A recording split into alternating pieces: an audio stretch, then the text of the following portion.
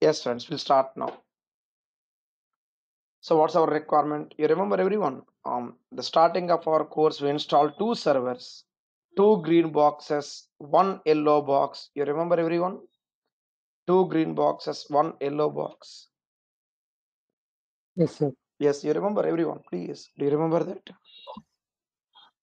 Yep. Yes, sir. Others, what happened? Silent today. Waiting for weekend or what? Waiting for weekend. It comes and goes. Others, do you remember me, please? Do you hear Yes, me? sir. Others, others, Ravya, Yes, Sriharsha, sir. Anil, Madhavi, Archana, please check your mic, please, please take it. Sir, sir. Fine. Our Yes, sir. fine then. Which is our requirement. Let's understand how to perform join of two tables across across two different servers right? That's our requirement. What we do there let's understand. We need to first launch a yellow box connect to two green boxes. This is optional. The second green box connection from the left yellow box is optional. Because anyway we are going to connect from the first green box right? This is completely optional. Let's have the yellow box to first green box. Here it is starting of our course our demo class notes yellow to first green and yellow to second green you remember now yellow to first green yellow to second green please everyone do you remember this i'll wait Yes, sir. Yes, sir. perfect Yes, sir. next sir. Sravya M, please check your mic. Please check your mic. Divya Kiran, please check your mic, please. Let's continue.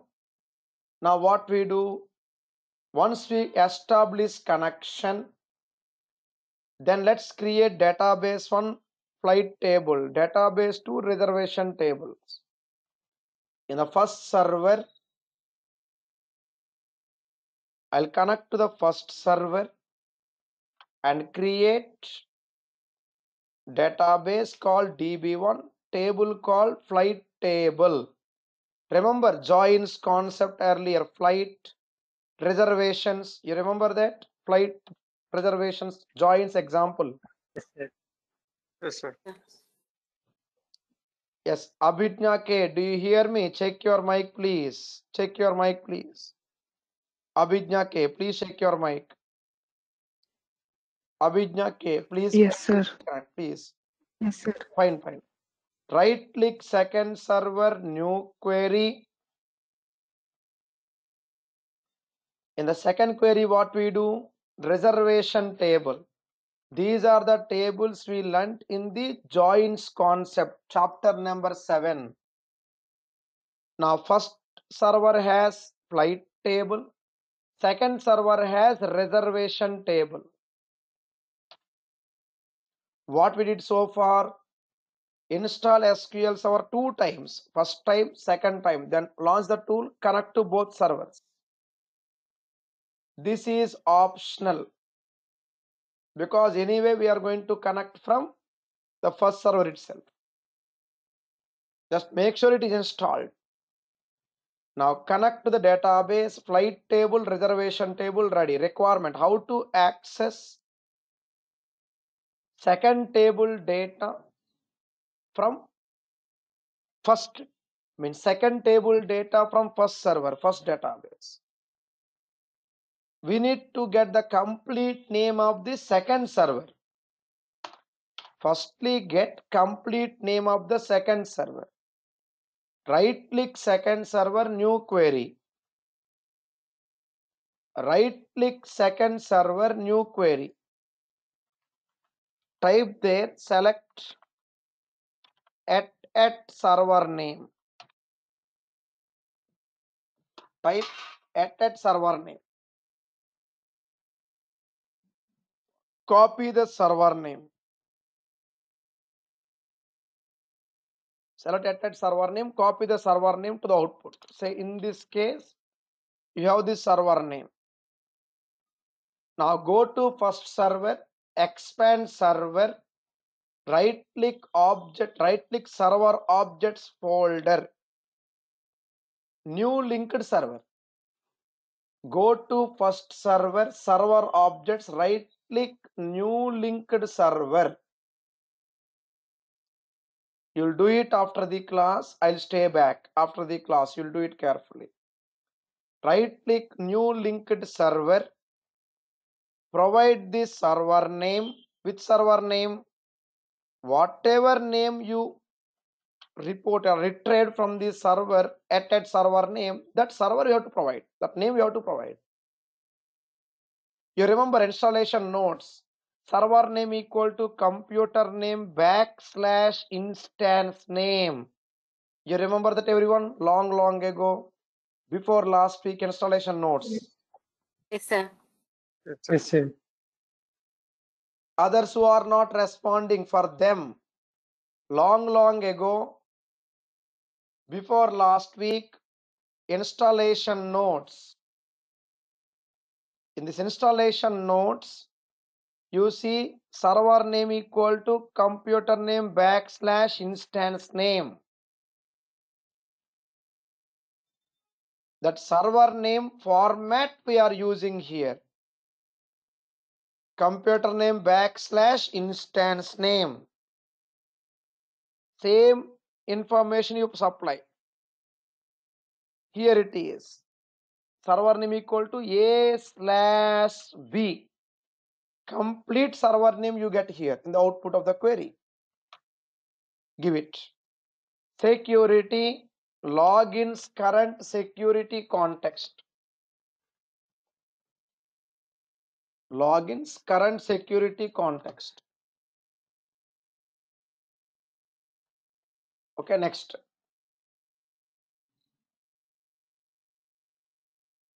Go to server options.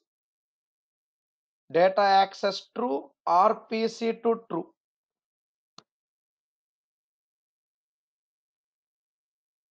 Data access true, RPC to true. Remote procedure call to true.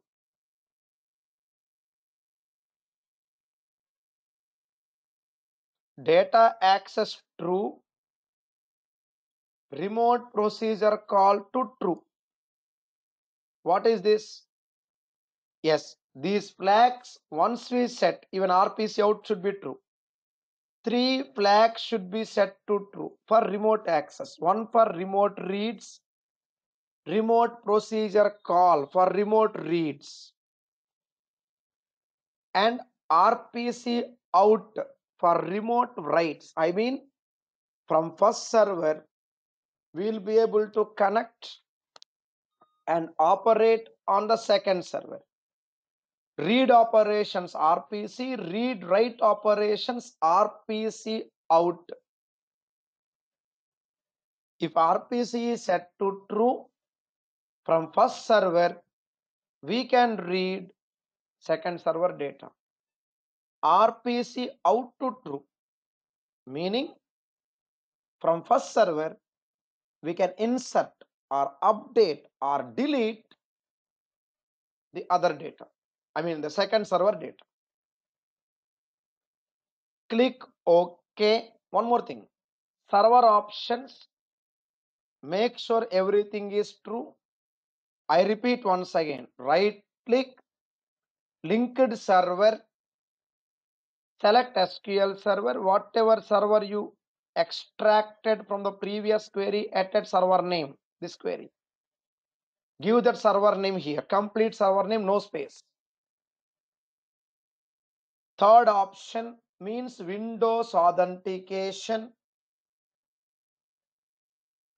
Third option, Windows authentication. Server option, data access true, RPC true, out to true. Okay, next. Once you supply all this content, next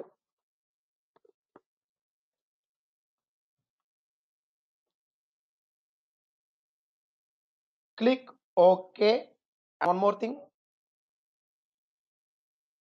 Once you click OK, before we implement remote joins, test the query. Test remote query.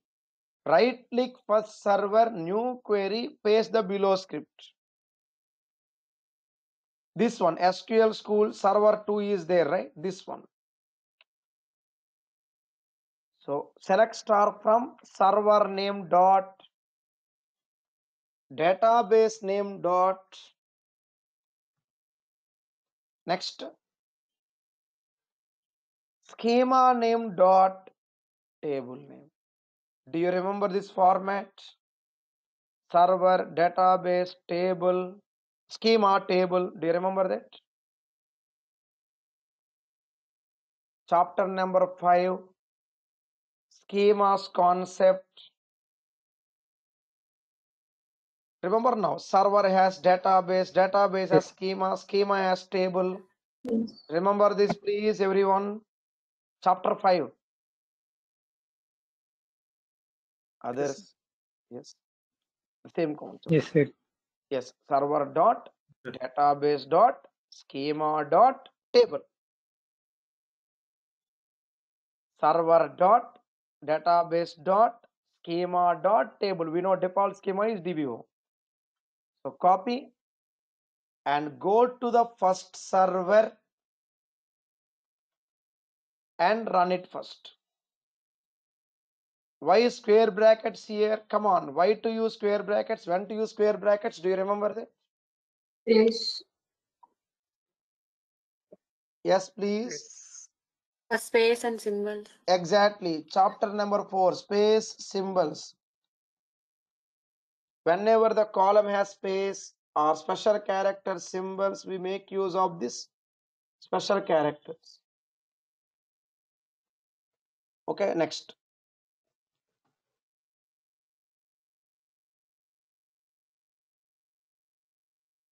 Next step.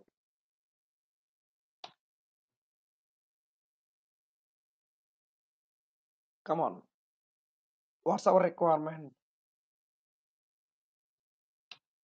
Remote joins, right? Isn't it? We need to implement remote joins. How? Let's see. Select from select from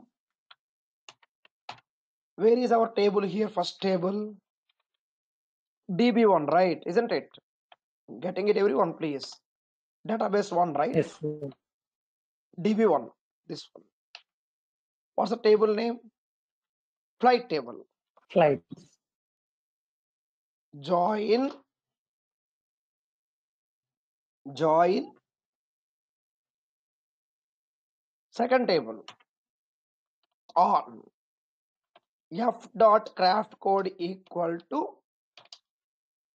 r dot. Here it is. R dot Reservation. exactly. Reservation dot. In second table columns. Craft underscore code. Craft underscore code like this. Just ignore the red underlines. Flight table in server 1 reservation table in server 2 join. We get the data side by side. Remember we are connected to first server only. Joining the content of second server. See here. Now come on how to save this query in the database how to save this query in the database come on i'll wait Using view, views. View. By using view. yes we can make use of views right isn't it create view view for flight reservations as like this. And how to test the view? Select Select from star from view name. view name. Where is this view getting created in the first server? So from one server, we can access the data of second server. This concept is called remote joins. Okay, concept is called remote joins. Remember. So what are the steps now? Firstly, install two servers server 1 server 2 connect. Then first server first database one table. Second server second database another table. From first server we need to access data of second server. We need to access the data of second server. So first get the server name then go to server objects new linked server. See here once again. Go to first server server objects new linked server. Provide that server name security third option. Server options rpc true out to true data access to true these three. With this information we learned how to perform remote join and execute the query. So this way you'll do the concept of joining two different tables two different servers. Let's go for questions before you'll implement this item in your computers right now in next few minutes you'll start the practice part. Yes friends anyone any questions let me know please i'll wait